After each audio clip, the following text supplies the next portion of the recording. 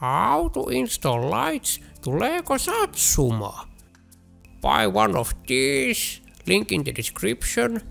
Remove these parts of your Satsuma, place the battery holder in the middle of the car, make sure the light switch is at the front, connect the light cables into the expansion board, attach light cables between the front and rear studs. After that, just assemble the pieces together.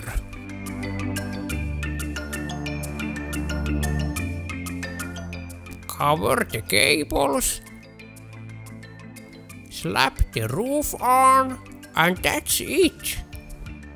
Use a small hex wrench to turn on the light switch, and bada bim bada boom, the lights work.